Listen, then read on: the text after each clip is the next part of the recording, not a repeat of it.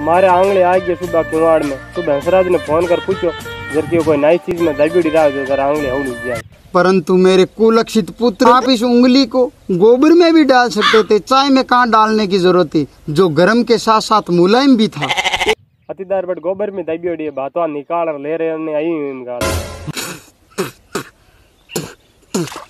शर्म को ना था बेशर्मा नाजो का कीड़ा पड़े थारे तू पोटा मांगली गोल पर और मैं ले रहा मैंने पाई दियो दुष्टि